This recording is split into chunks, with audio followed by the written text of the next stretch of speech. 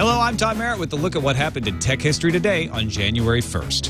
In 1939, in a garage in Palo Alto, California, William Hewlett and David Packard founded Hewlett Packard, a little company that made audio oscillators and later touchpads.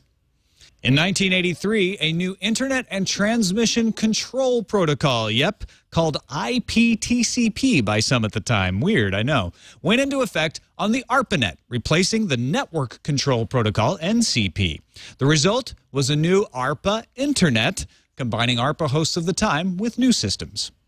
In 1985, the Nordic Research Network, NorduNet, registered the first domain name, nordu.net. Come back tomorrow for more history and get every episode of Tech History Today at twit.tv slash THT.